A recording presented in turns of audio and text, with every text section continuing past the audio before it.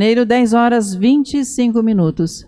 Está entrando no ar. Grande Jornal Rio Notícias. Jornalismo de credibilidade com o padrão Rio de qualidade. Apresentação: Cláudio Soares e Vânia Barbosa. Olá, hoje é segunda-feira, 1 de outubro de 2018. E hoje é o Dia Internacional da Música. E o Dia do Idoso. E esses são os destaques desta segunda-feira. Manchetes. Guarda Municipal do Rio inicia fiscalização no BRT. Prefeitura do Rio de Janeiro suspende multas desde 2013 para que as vans regularizem situação. Governo federal estuda proposta para regulação do comércio de livros. Brasil pode perder o certificado de eliminação do sarampo. Canadá e Estados Unidos podem substituir o acordo de livre comércio. Norte-americano e japonês dividem o Prêmio Nobel de Medicina. Grande Jornal Rio Notícias. Locais. A Prefeitura do Rio cumpriu a meta de vacinar 95% do público-alvo da campanha de vacinação contra poliomielite e sarampo no município. Foram aplicadas 572.358 doses das duas vacinas. Contra a paralisia infantil foram 286.080 aplicações que levaram ao resultado de 95,17% na cobertura. Já contra o sarampo, foram outras 286.278 doses, o que gerou cobertura vacinal de 95,24%. Este ano, o município do Rio registrou 15 casos de sarampo. Já a poliomielite não tem ocorrência no Brasil desde 1990. E o governo do Rio de Janeiro vai implementar mais 60 novas escolas em tempo integral, com ensino profissionalizante em empreendedorismo em todo o estado. As matrículas para essas unidades de ensino começam nesse mês de outubro. E de acordo com o secretário de Estado de Educação, Wagner Victor, além da carga horária ampliada, as escolas profissionalizantes em empreendedorismo possuem parcerias com o Instituto Ayrton Senna e o SEBRAE para a captação dos professores para atualizar em sala de aula com esses alunos. A Guarda Municipal do Rio começa a fiscalizar nesta segunda-feira 33 das 133 estações do BRT para reduzir o número de calotes nas passagens. Quem for flagrado entrando nas estações sem pagar a tarifa pode ser multado em 170 reais. Em caso de reincidência, a penalização sobe para R$ 255.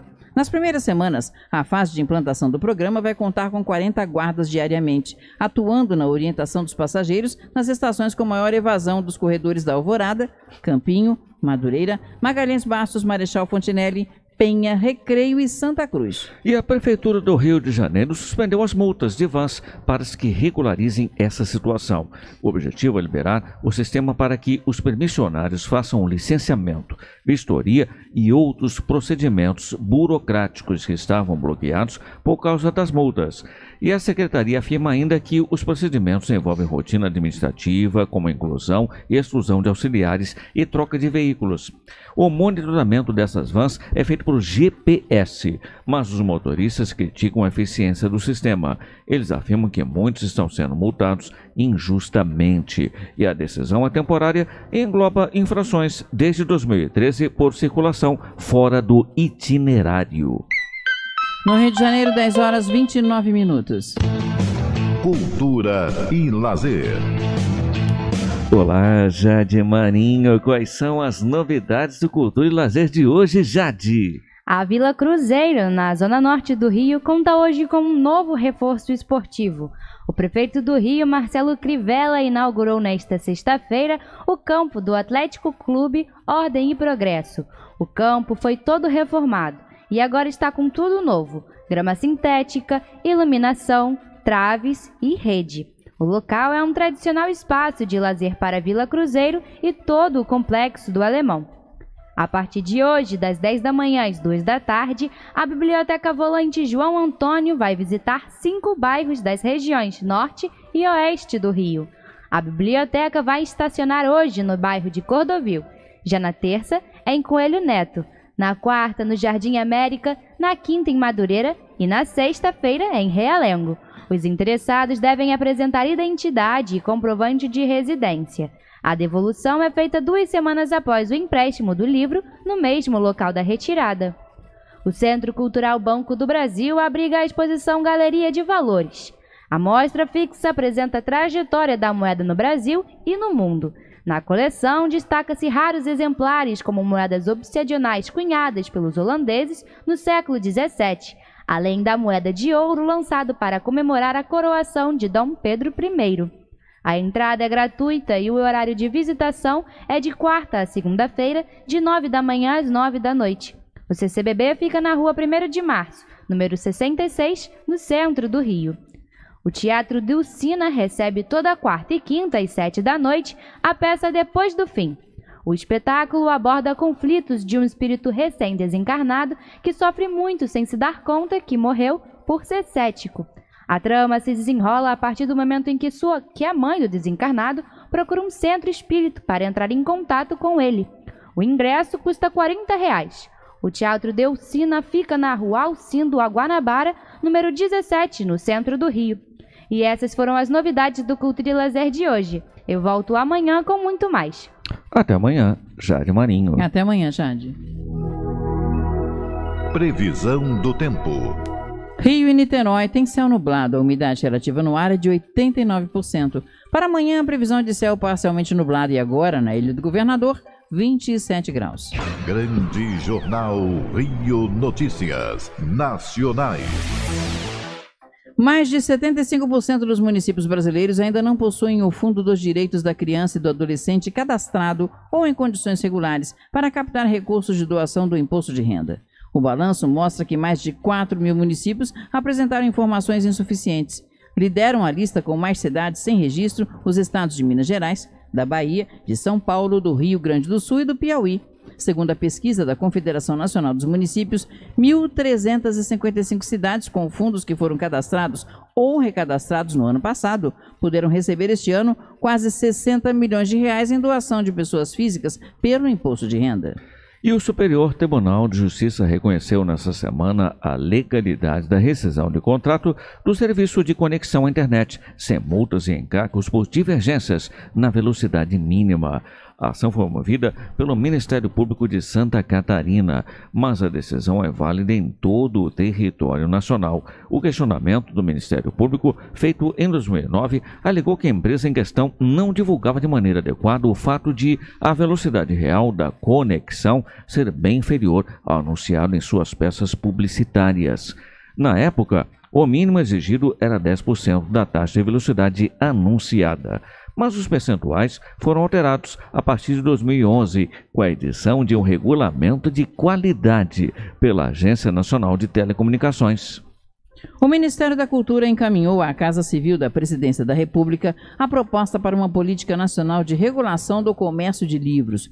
Com a proposta legislativa, o Ministério pretende deixar o mercado de venda de livros mais equilibrado. Uma das propostas da política nacional é de que o preço de comercialização de cada livro será estabelecido por sua editora, ao menos logo após o lançamento.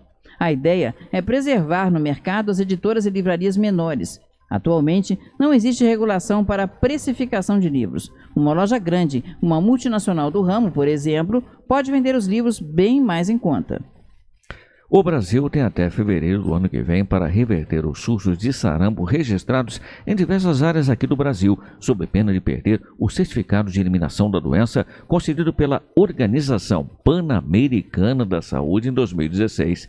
O alerta foi feito pela assessora regional de imunizações da entidade, Lúcia Helena de Oliveira, durante a Jornada Nacional de Imunizações no Rio de Janeiro. Dados do Ministério da Saúde mostram que até 24 de setembro foram confirmados 1.766 casos de sarampo, dos quais 1.367 no Amazonas e 325 lá em Roraima. O critério adotado pela OPAS para conferir transmissão sustentada é que o surto se mantenha por um período superior a 12 meses. E as autoridades sanitárias do Brasil, portanto, correm contra o tempo, já que os primeiros casos da doença no norte do país foram identificados no início do ano. No Rio de Janeiro, 10 horas 35 minutos. Ciência e tecnologia. Tecnologia. Bom dia, Bruna Moura. Quais são as novidades de ciência e tecnologia de hoje? Bom dia, Vânia. O Japão fez um lançamento de um satélite contendo o elevador espacial em miniatura, projetado por cientistas da Universidade Shizuoka.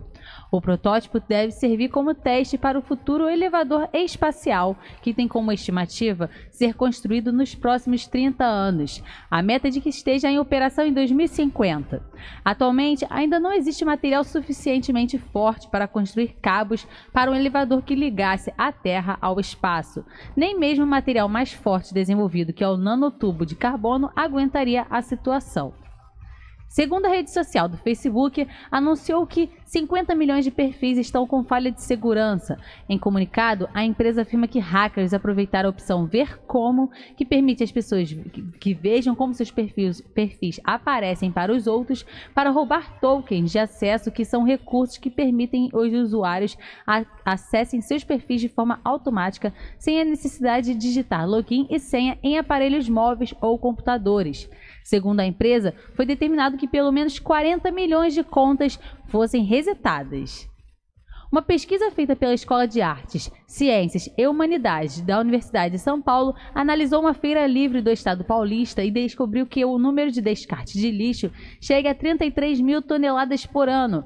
Por conta disso, é necessário que deva existir metodologias para mensurar as perdas e desperdícios de alimentos, visando a sensibilizar a sociedade com esse problema antisustentável. A USP ainda concluiu que grande parte dessa tonelada descartada em tem material de ótima qualidade que pode ser reaproveitada devido aos seus nutrientes encontrados. No setor de, de, eletrônicos, a venda de tablets teve uma queda de 3,4% no segundo trimestre deste ano, em relação ao mesmo período de 2017. De acordo com o levantamento da Tablet Target Q2, foram vendidas 763 mil unidades desses dispositivos só neste ano, 27 mil a menos do que os 790 mil tablets comercializados no ano passado. E encerro as notícias de ciência e tecnologia de hoje. Eu volto amanhã com muito mais novidades. Até lá! Até amanhã, Bruna Moura. Até amanhã, Bruna. Grande Jornal Rio Notícias. Em dia com a economia. Cadernetas de poupança com aniversário hoje rende 0,5000% e o dólar no câmbio comercial cotado a R$ 4,0587 para compra e R$ 4,0600 para venda.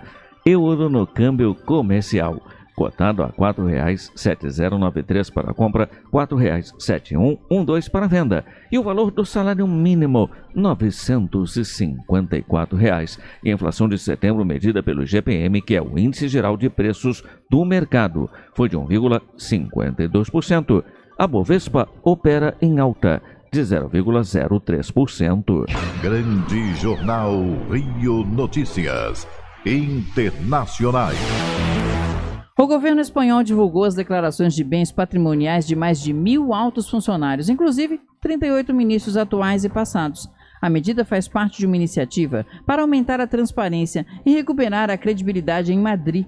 A lista publicada no Boletim Oficial do Estado inclui tanto membros do atual governo socialista, liderado por Pedro Sanches, quanto do anterior, sob o conservador Mariano Rajoy. À frente está o chefe da pasta do exterior, Joseph Borrell, que declarou uma fortuna de 2 milhões 77 mil euros, seguido pela ministra da Educação Isabel Sela, com 1 milhão 62 mil euros, e o da Ciência e ex-astronauta Pedro Duque, com 1 milhão e meio de euros em bens. O governo da China vai reduzir as tarifas de importação para 1.585 itens, sujeitos a impostos a partir de 1 de novembro na busca por modernizar o parque industrial e o corte de custos corporativos e atender também à demanda nacional. A decisão foi tomada numa reunião executiva do Conselho de Estado comandada é, pelo ministro, ministro Li Keqiang. A nova política seguirá uma série de cortes tarifários este ano, que economizarão 60 bilhões de yuans o equivalente a 8 bilhões 700 milhões de dólares para as empresas e consumidores, segundo o um comunicado divulgado depois desse encontro. E com a nova medida, a taxa tarifária geral do país vai cair para 7,5% em comparação com os 9,8% em 2017. Faltando poucas horas para o fim do prazo limite, negociadores canadenses e americanos alcançaram um acordo para substituir o Tratado de Livre Comércio da América do Norte, resgatando uma zona de livre comércio entre três países de 1 trilhão 300 milhões de dólares que estava prestes a entrar em colapso após quase 25 anos. O novo tratado vai receber o nome Acordo Estados Unidos-México-Canadá, de acordo com uma declaração conjunta. A nova versão do NAFTA, em vigor desde 1994, entre Estados Unidos, Canadá e México, começou a ser renegociada em 2017 por exigência do presidente americano Donald Trump, que considerava o acordo um desastre para o seu país. James Allison e Tatsuko Onjo são os ganhadores do Prêmio Nobel 2018 de Medicina. A Academia Sueca anunciou nesta segunda-feira que o americano e o japonês irão dividir o prêmio de 9 milhões de coroas suecas, o equivalente a 4 milhões 98 mil 402 e os dois desenvolveram pesquisas separadas envolvendo proteínas que agem como um freio no sistema imune durante o tratamento de câncer. O imunologista James Allison, da Universidade do Texas, estudou uma proteína que funciona como um freio no sistema imune. Já o imunologista Tatsuko Honjo, professor da Universidade de Kyoto, descobriu uma proteína nas células imunes que também age como um freio, mas com um mecanismo diferente de ação. No Rio de Janeiro, 10 horas 42 minutos. Giro de repórteres.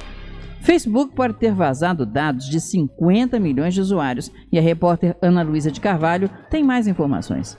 Um vazamento de dados do Facebook pode ter afetado pelo menos 50 milhões de pessoas, inclusive brasileiros. Os usuários notaram algo errado quando as contas nos dispositivos móveis foram deslogadas automaticamente. O incidente foi confirmado pelo Facebook nesta sexta-feira. Brasil, Estados Unidos e vários países da Europa já relataram consequências do ataque. Várias pessoas afirmam que, quando se reconectam, encontram postagens antigas como sendo recentes e até mesmo fotos já trocadas aparecem como ícones de perfis outros usuários não estariam sequer conseguindo acessar as contas novamente. De acordo com a companhia, foi descoberta uma falha de segurança no recurso Ver Como, que mostra como as informações são exibidas para cada pessoa ou público da rede. Ainda não há mais detalhes, mas aparentemente os invasores conseguiam controlar as contas a partir do recurso. Por isso, mais de 90 milhões de contas foram deslogadas como medida de segurança. Quando o usuário se conecta novamente à conta, o Facebook pede que a senha seja redefinida, sem maiores explicações. A companhia afirma que assim que o usuário se reconectar, vai receber uma notificação com uma explicação oficial do que aconteceu, mas o aviso ainda não está disponível para todas as contas. Reportagem Ana Luísa de Carvalho. PNAD aponta 12 milhões e 700 mil desocupados no Brasil. Mais informações com o repórter Rafael Costa. O volume de pessoas desocupadas no Brasil apresentou uma queda e agora representa 12,1% da população, ou seja, 12 milhões e 700 mil pessoas. Os dados são da Pesquisa Nacional por Amostra de Domicílios, PNAD, feita pelo IBGE e se referem ao trimestre encerrado em agosto. O índice caiu 0,6 pontos percentuais no comparativo com o trimestre de março a maio deste ano, quando a taxa de desocupados era de 12,7%. Comparando com o mesmo trimestre do ano passado, também há registro de queda. Em 2017, o desemprego atingia 12,6% da população, mais de 13 milhões de pessoas em todo o país. A PNAD contínua considera desempregada a pessoa que não tem um cargo, mas está procurando um novo emprego. Já o número de empregados no setor privado com carteira de trabalho se manteve estável neste trimestre, 33 milhões. No comparativo com o mesmo trimestre do ano passado, a PNAD contínua indica uma queda de 1,3%. Reportagem Rafael Costa. Lei reduz morte de crianças até 9 anos. E o repórter Janari Damasceno tem mais detalhes. O número de mortes de crianças com até 9 anos de idade que estavam em veículos caiu de 299 para 275 entre os anos de 2008 e 2016. Isso é resultado direto da legislação brasileira para proteger as crianças no trânsito, com a chamada Lei da Cadeirinha, que completou 10 anos. Não obedecer à lei é considerado uma infração gravíssima e prevê multa, perda de 7 pontos na Carteira Nacional de Habilitação e a retenção do veículo até que a irregularidade seja resolvida. Então, para que você proteja melhor as crianças em seu carro, basta ouvir as dicas do diretor de Policiamento e Fiscalização de Trânsito do Departamento de Trânsito do Distrito Federal, Glauber Peixoto. Desde o nascimento até o primeiro ano de vida, ela é transportada no bebê conforto esse dispositivo ele fica de costas para o painel do veículo, segurando a criança tanto pelo cinto próprio, de cinco pontos, além do cinto de segurança do próprio veículo. De 1 a 4 anos, a criança passa a utilizar a cadeirinha, ela já fica presa pelo cinto de segurança, também tem um cinto próprio no dispositivo, já de frente para o painel do veículo. E se você ficou com dúvidas sobre o uso de cadeirinha no carro para as crianças após os 4 anos de idade, o diretor do Detran DF, Glauber Peixoto, completa a explicação. De 4 anos a 7 anos e meio, a criança utiliza o assento de elevação, também conhecido como buster. Esse dispositivo, ele eleva a criança para que o cinto de segurança não fique na altura do pescoço e também a parte subabdominal do cinto de segurança através de umas alças laterais desse dispositivo, permaneça na altura da pelve, para que em caso de impactos frontais, a criança tenha um pouco mais de segurança, mesmo ainda estando no estágio de desenvolvimento. A partir dos 7 anos e meio até completar 10 anos, a criança não precisa mais usar cadeirinha nem qualquer outro dispositivo, mas com essa idade só é permitido ficar no banco traseiro, ou seja, a criança ainda não pode usar o banco da frente. Só a partir dos 10 anos em diante é que a criança pode seguir no banco da frente. Em todos os casos, ainda é obrigatório usar o cinto de segurança. Reportagem Janari Macena. Engenharia Civil está entre os cursos que podem ser reformulados até 2030. Mais detalhes com o repórter Marquesan Araújo. Os cursos de engenharia civil e engenharia de produção estão entre os que podem passar por reformulações até 2030. De acordo com o mapa do Ensino Superior 2018, as novas tecnologias serão responsáveis por mudanças no modelo de ensino oferecido nesses cursos. A possibilidade de esse cenário aparecer já tinha sido apontada em estudo elaborado pela Confederação Nacional da Indústria, a CNI. Baseado em dados do Conselho Nacional de Educação, o balanço, que contém propostas apresentadas aos candidatos candidatos à presidência da República atenta para a necessidade de alteração no currículo. Segundo informações do estudo, as instituições de ensino definem as grades curriculares, mas a escolha dos conteúdos normalmente não está diretamente ligada ao perfil que se espera do aluno formado, o que enfraquece a conexão entre aprendizado e prática profissional. Para a diretora de inovação da CNI e superintendente nacional do IEL, Giana Sagazio, o engenheiro exerce um papel central na capacidade inovadora de um país por isso, essa mudança na estrutura curricular é, na visão dela, fundamental para o aprimoramento da profissão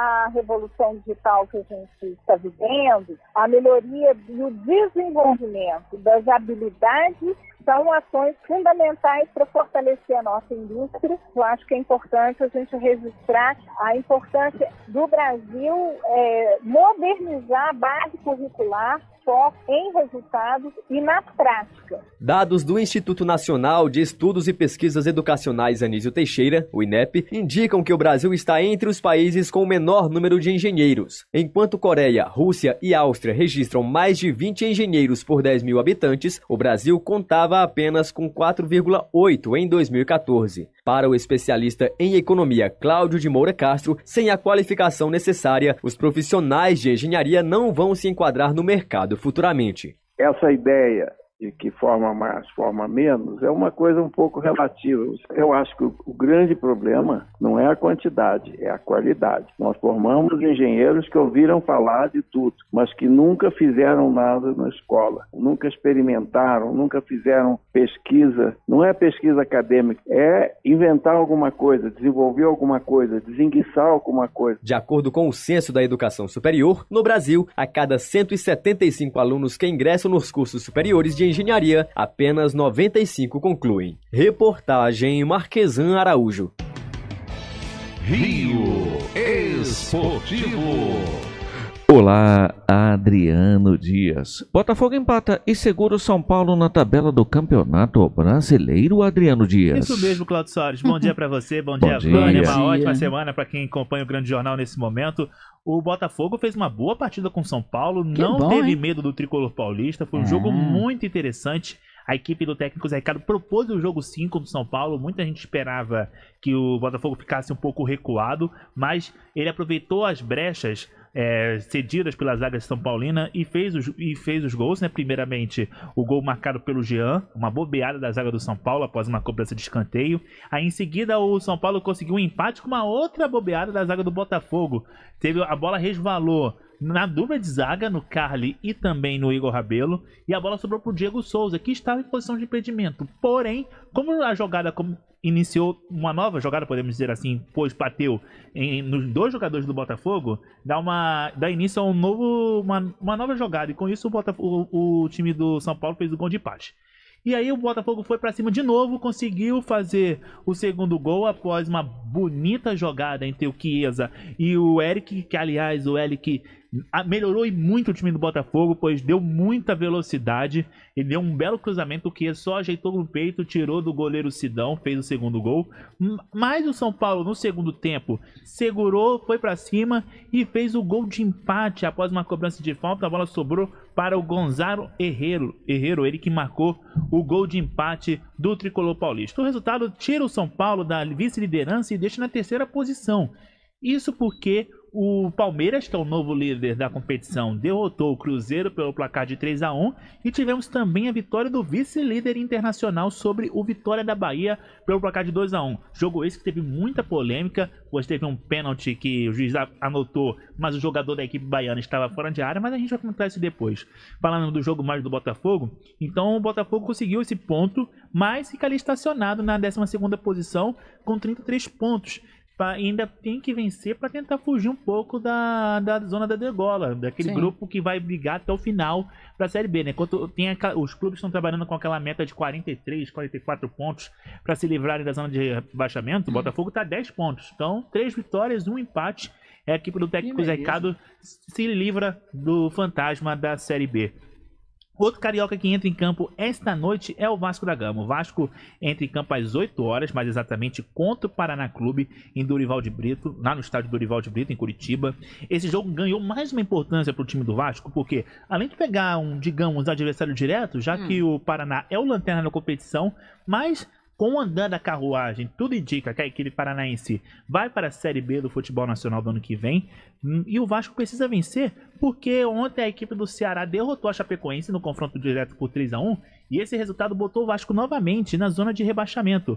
Ou seja, três pontos lá em Curitiba seria de extrema importância. Porque aqui a gente vem comentando, o Vasco precisa vencer não apenas em casa, mas também pontuar fora. Seja empate e com a equipe que é o lanterna, lanterna da competição, uma vitória de extrema importância. Sobre o time do Vasco da Gama, que deve ir a campo esta noite, é, o time vai ter só algumas novidades. Vai ter o retorno do Ramon e do Maxi Lopes. E a novidade também vai ser o Renato, o Giovanni Augusto, que ganha uma oportunidade do time titular. Então, tudo indica que o Vasco deve ir a campo esta noite com Martin Silva no gol, Rafael Galhardo, Luiz Gustavo, Leandro Castanho e Ramon. Bruno Concedei, o William Maranhão, aliás, esse jogador ganhou de extrema importância no esquema do Alberto Valentim. Ele agora é titular absoluto. Giovanni Augusto, Iago Pikachu e lá na frente a dupla argentina Andrés Rios e Maxi Lopes. O Vasco, como eu disse aqui, tem totais condições de conseguir os três pontos, voltar com esses três pontinhos na bagagem para o Rio de Janeiro e ficar respirar um pouco aliviado, porque o Vasco está com 29 pontos, empatado com a vitória da Bahia, mas perde no critério de vitórias. Pois a equipe baiana tem 8 e o Vasco da Gama tem 7. E esse é o primeiro critério para diferenciar nos pontos iguais no Campeonato Brasileiro. Os outros dois cariocas entraram em campo no sábado. O Fluminense fez um jogo morno. Estava empatando com o Grêmio até o final do jogo, mas uma bela enfiada de bola do time gremista e o Everton fez um dos gols mais bonitos desse campeonato, no meu ponto de vista, pois ele recebeu na velocidade, ele percebeu o goleiro chegando, o goleiro Júlio César, e deu um belo toque de letra, marcando no final do jogo, com essa frieza, o gol da vitória da equipe gremista, que entrou de vez na briga pelo título, já que o Grêmio tem 50 pontos, está a 3 do líder Palmeiras. E o, Ba- e o Flamengo empatou sem gols com o Bahia, nesse que foi o primeiro jogo já no comando do Dorival Júnior. O Flamengo fez tudo rápido, demitiu o Maurício Barbieri na sexta pela manhã.